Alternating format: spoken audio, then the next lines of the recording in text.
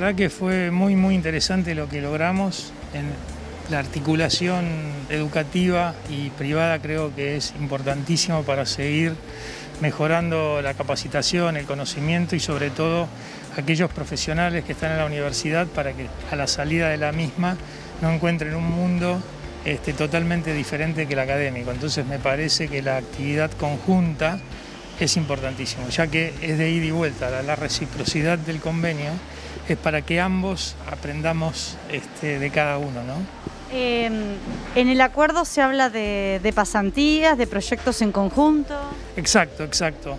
Eh, la idea es eh, nosotros poder eh, volcar a los estudiantes parte de lo que es nuestras metodologías operativas, herramientas en la gestión de manufactura, y ellos también la ayuda en la investigación sobre problemáticas que nosotros podríamos en algún momento tener en la, en la producción, cosa que es muy importante. ¿Por qué? Porque dentro del mundo académico se pueden resolver a veces muchos problemas que podemos tener en un, en un proceso, en una línea, además. Entonces creo que estamos realmente muy, muy entusiasmados con este, con este tema.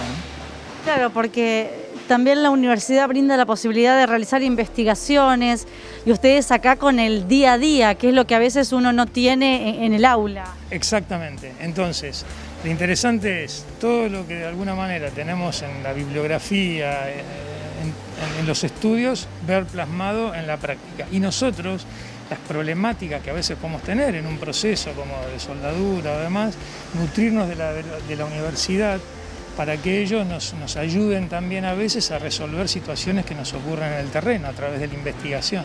¿Cómo marcha este año, Coroch?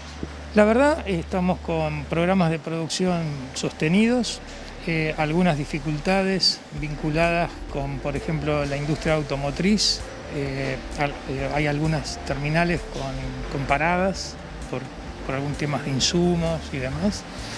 Eh, en, la, línea de televisión y celulares que también fabricamos, tenemos programas sostenidos, pero también con ciertas restricciones este, importantes en, abastecimientos de materiales que, que, nos están generando algunas dificultades. No obstante ello, la verdad que de acuerdo a los programas que tenemos, Estamos trabajando bastante bien, atendiendo a nuestros clientes, eh, bueno, de la manera que normalmente se, merece, ¿no?